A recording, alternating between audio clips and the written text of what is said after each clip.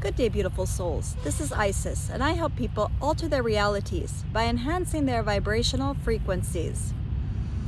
Today I was listening to a little girl who was making a description of her emotions regarding the falling of leaves. And then I decided, you know, I'm going to research why do leaves lose, uh, why do trees lose their leaves? Sorry. Why do trees lose their leaves? Um, because I know that in classes we learned about photosynthesis and osmosis, but it has nothing to do with that. It actually has to do with the tree making a choice.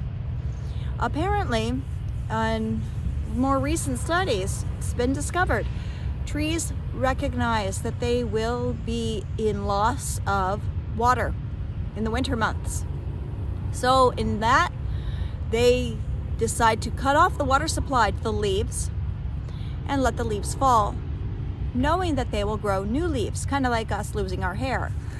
However, for a leaf and a tree, they used to have a companionship, a friendship. And that was what the little girl was talking about. She said, I'm so sad, and it is my fault that I lost you guys. Now you are lost forever.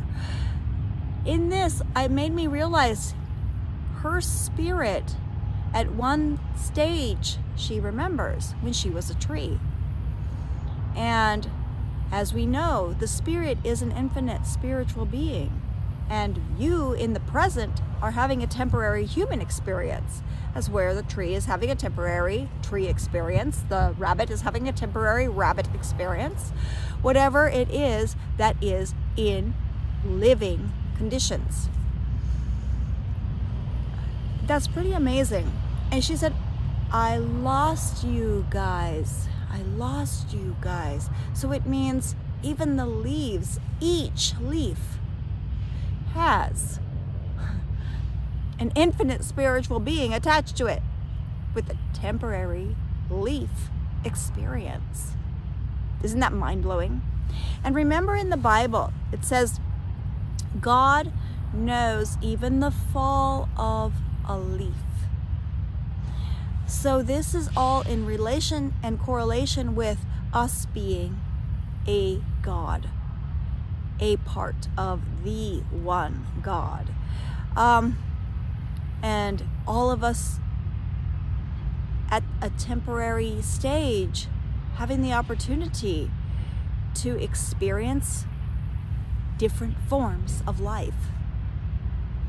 So when you are feeling low frequency levels of unhappiness, unless you're from that level of consciousness, from the soul spirit being that you actually truly are, please, if you're from a higher source, try to reach the higher frequencies. I believe that primarily everyone who watches my channel and has subscribed is from higher source. But I need you guys to realize and recognize not every one is from higher source. We all come from the one source, and the one source has positive and negative. In order for the positive to survive, the negative must exist in the present. Therefore, when you know people and you're like, wow, I'm in shock that this is such a negative experience, and this person is often a negative creature, they may find joy in the negativity.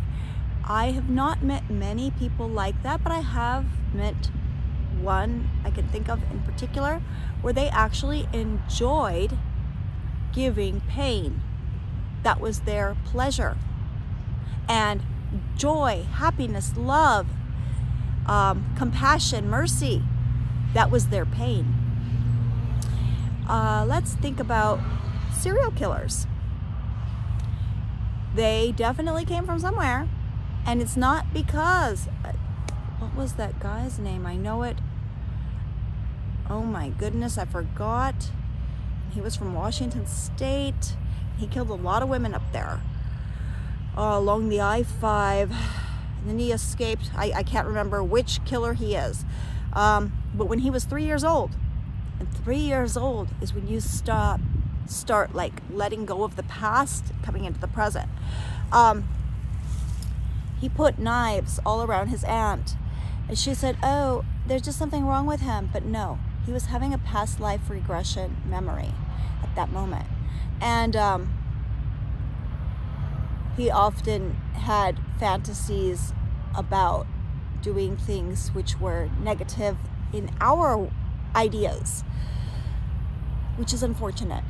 So uh, just note, if you know somebody who's a little bit not like you, you might want to let that go because I'm not saying they're that bad, but they definitely didn't come from your realm. So you want to let people go who don't have the same vibe as you do. I wish you all a beautiful day.